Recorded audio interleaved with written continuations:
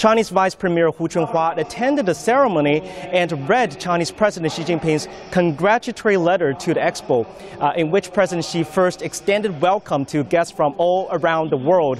He then said the expo will allow many countries to benefit from the opportunities provided by the Chinese market. Uh, he said the event will also contribute to the global economic recovery as well as growth.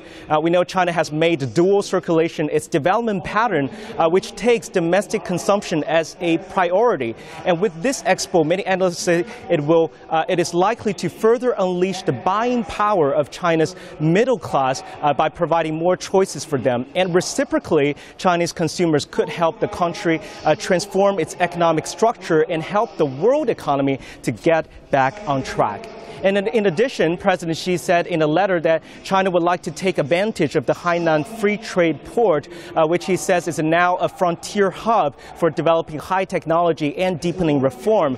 Uh, we know China aims to build Hainan province into a globally influential free trade port by the middle of the century. And under that backdrop, the central government has granted the tropical island many preferential policies. Uh, for example, this April, China issued a guideline to support easing market access in the Hainan Free Trade Port. And not just that, uh, market entities will enjoy a batch of benefits, including uh, in investment and tax uh, when they do business in Hainan. So in the near future, we may see sectors like pharmaceutical, health, uh, financial market system to have a rapid development thanks to the paramount policy support.